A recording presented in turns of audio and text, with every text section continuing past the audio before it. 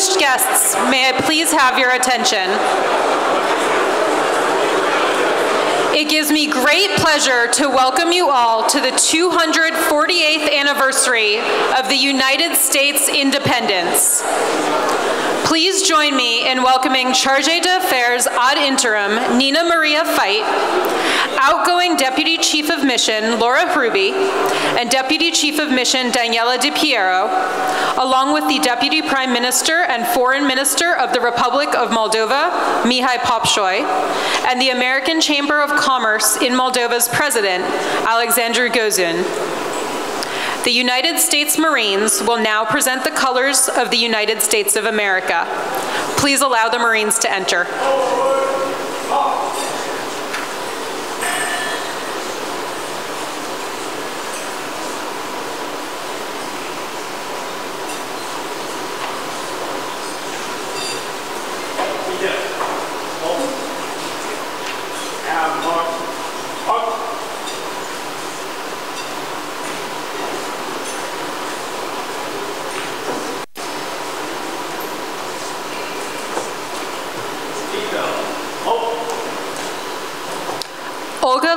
Will now sing the national anthem of the Republic of Moldova.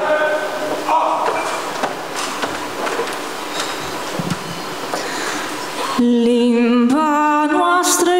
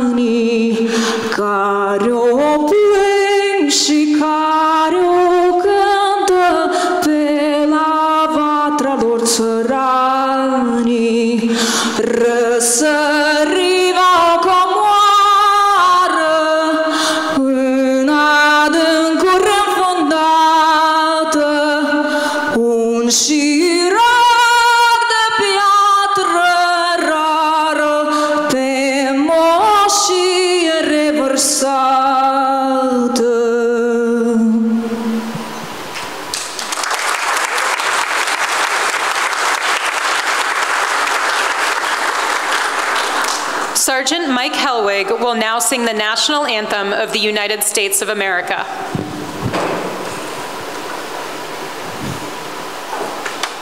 Oh, say, can you see by the dawn's early light what so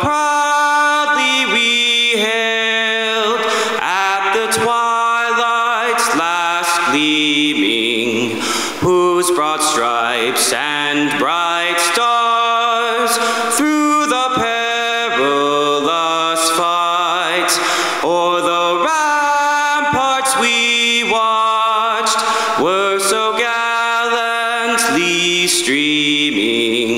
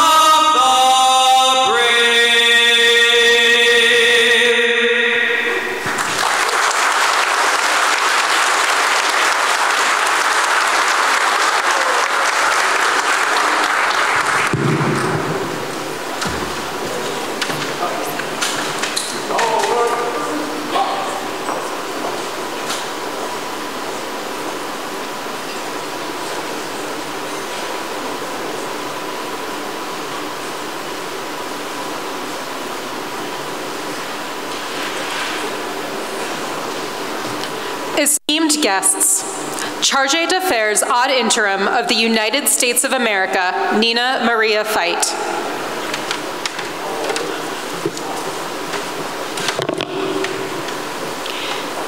Buonasera. I'm delighted to be here. I arrived yesterday in time for the splendid celebration. I look forward to meeting you and working with all of you as we move forward with U.S. Moldovan goals. And let me now introduce and offer an enormous thank you to DCM Laura Hruby, who has been instrumental in delivering so many of the milestones that this embassy and the U.S. and Moldova have achieved in our bilateral relations over the last three years. Thank you.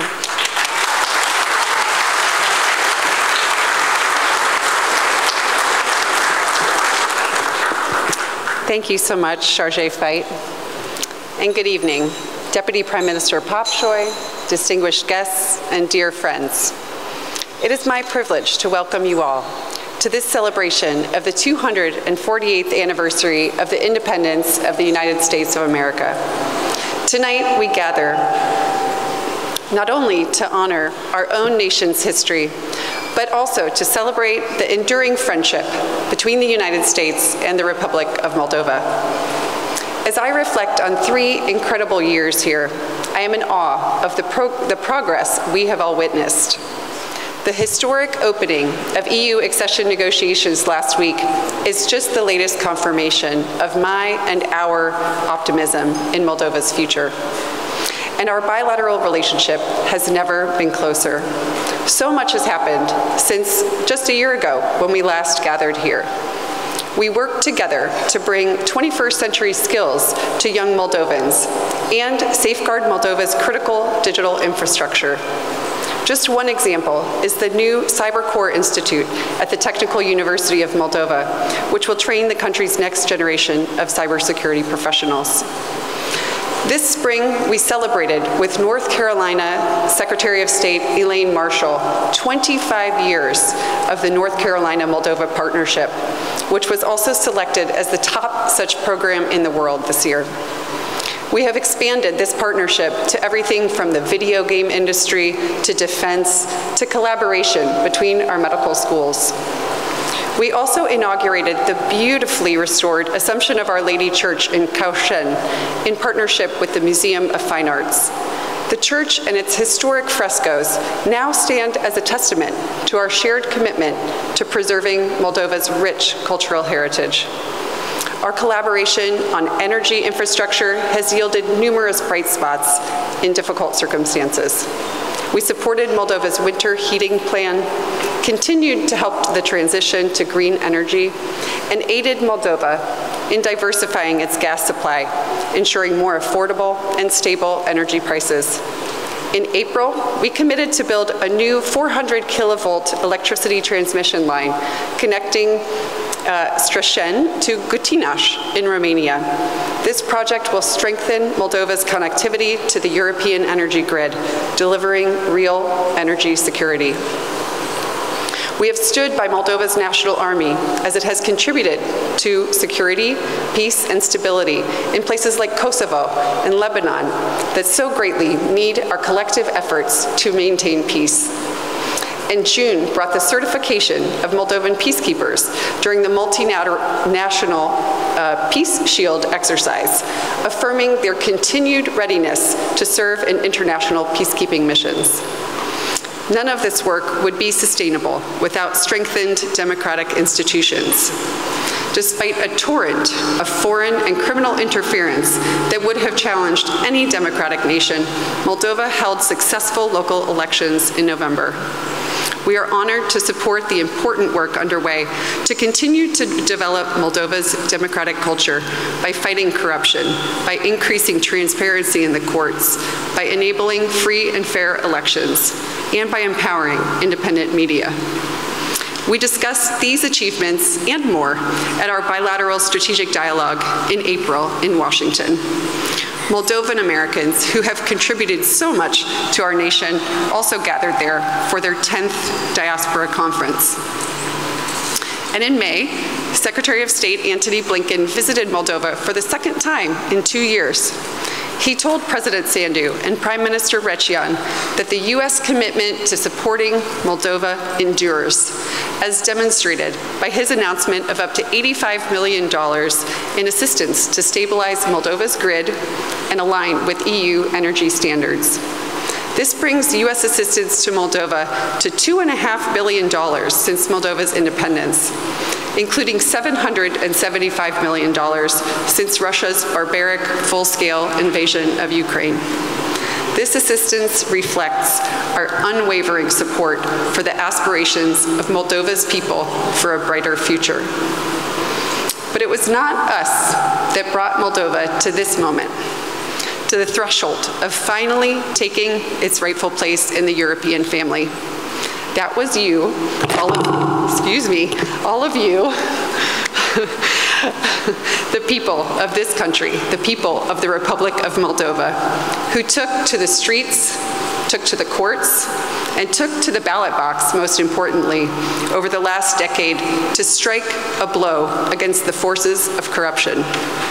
At the end of the day, Moldova's course will once again depend on the will of its people, and we welcome the chance for the world to hear their voice in October's referendum. I am delighted tonight to be here with Chargé d'Affaires Fite, who will lead the U.S. mission to Moldova while we await the confirmation of our ambassador nominee. And as I prepare to depart later this week, I'm also delighted to welcome our new Deputy Chief of Mission, Daniela Di Piero. With their outstanding leadership and the dedicated work of our U.S. Embassy team, I am certain that the U.S.-Moldova relationship is in excellent hands and will only continue to grow stronger. I would like to thank the fantastic embassy team that organized this event for all of us this evening. And we're also deeply grateful to our sponsors, whose logos you will see during the slideshow later, and to the American Chamber of Commerce in Moldova for partnering with us on this event. Thank you to all of you for being here. And thank you too for the warm hospitality and the friendship that you've offered to me and to my family over the past three years. You and Moldova will remain forever in our hearts. Happy Independence Day, and may the partnership between our countries continue to thrive. Thank you.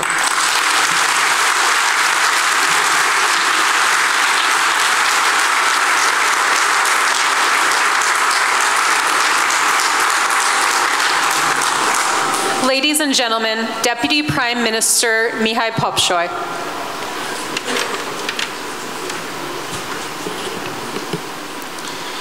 Dear Sergei Fite, dear outgoing and incoming DCM Hruby and Di Piero, dear friends, I stand before you not just as a foreign minister, but as a proud former head of US Moldova caucus. And even though I may not be in parliament anymore, that title will stay with me forever. I will be forever a promoter of strong ties and trusted partnership between the people of the Republic of Moldova and the people of the United States. And you know well that the generosity of the people of the United States when it comes to the Republic of Moldova has truly been remarkable throughout this over 30 years of independence. The two and a half billion dollars are only part of the enormous support that the Republic of Moldova has received throughout these years, but especially in the last few years. When Moldova and our neighboring friends, Ukraine, have been going through extremely difficult times, the United States has been there for us. And today, though it may be odd to hear, the Republic of Moldova is stronger and more resilient than we were two, three years ago. Our adversaries hoped that we will crumble, that we will not be able to resist the energy crisis, the inflation that led after it, and the repercussions of the barbaric Russian aggression in Ukraine. But we have resisted, and since then we have not only muddled through, but we've actually achieved meaningful progress. be it in energy security. Today, Moldova is no longer dependent on Gazprom for its gas supply. Moldova is building high voltage lines to connect itself to Romania and therefore the European energy grid.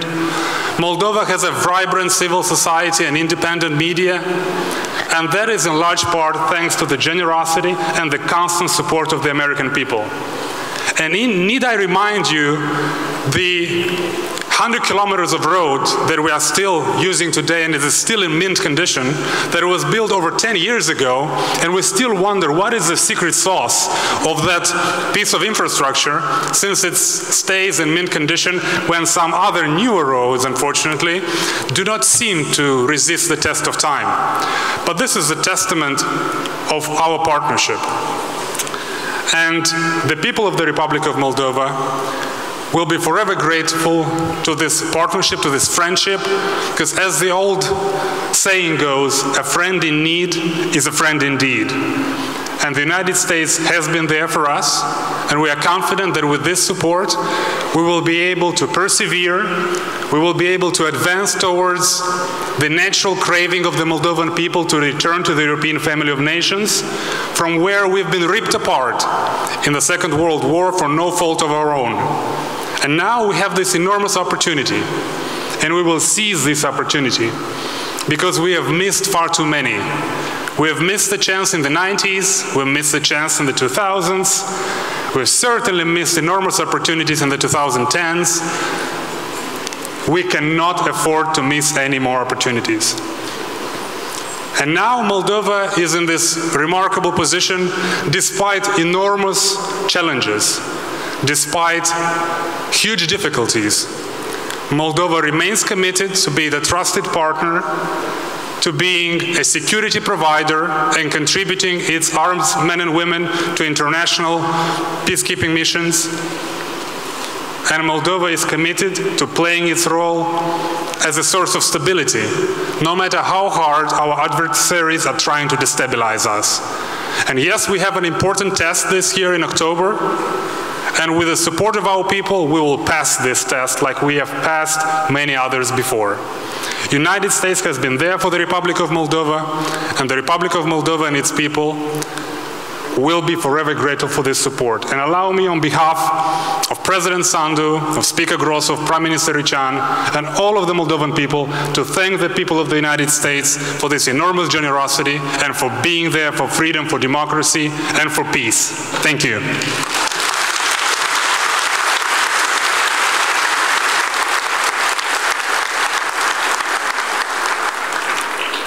Thank you, Minister Popșoi. Distinguished guests, the American Chamber of Commerce in Moldova's president, Alexandru Gozun. Thank you, and good evening. Excellencies, Charles de Fite,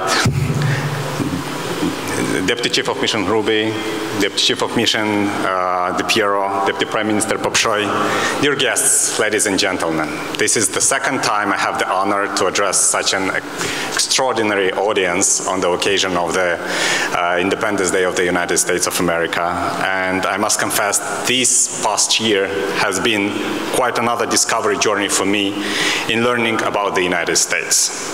Witnessing the support which was mentioned by the speakers before and continued engagement to help Moldova build its democracy, stand firm in preserving, preserving its uniqueness, while shaping its own prosperous European future is truly motivating. We thank the United States for this impetus towards prosperity and democracy.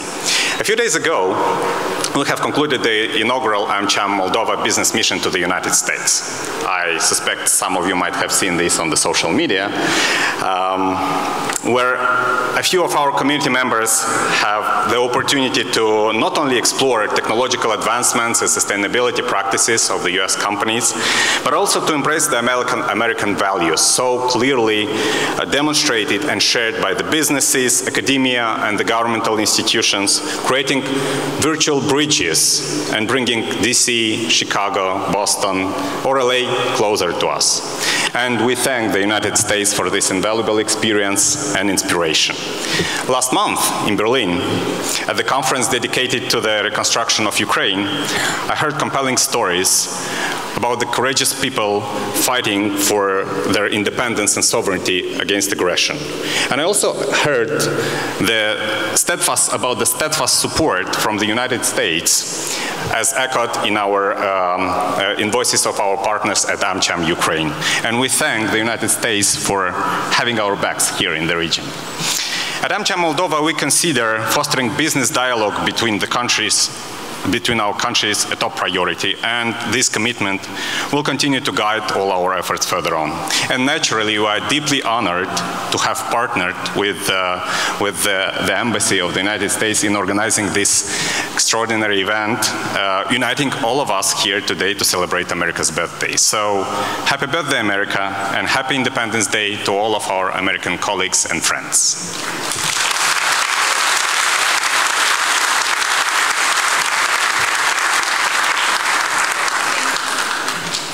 Thank you. Friends, please raise a glass with us.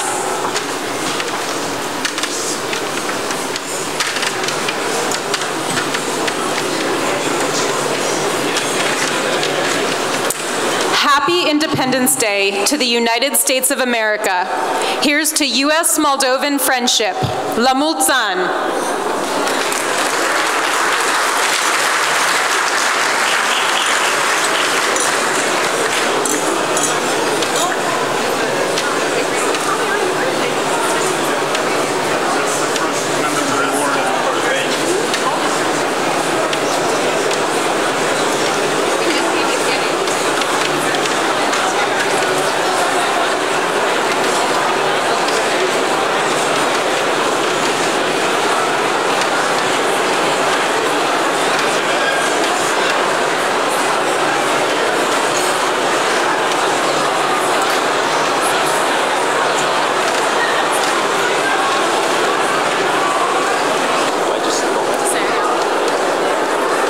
And now, Chargé Fite will cut the cake.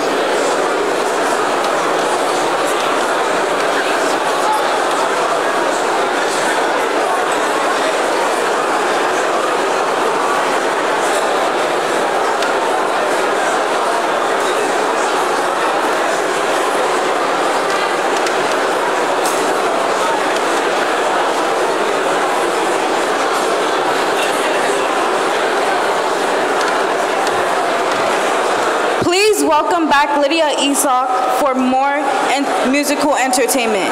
We invite you to enjoy the food and drink offerings, both indoors and out, from our generous sponsors. Thank you for coming. We hope you enjoy the party.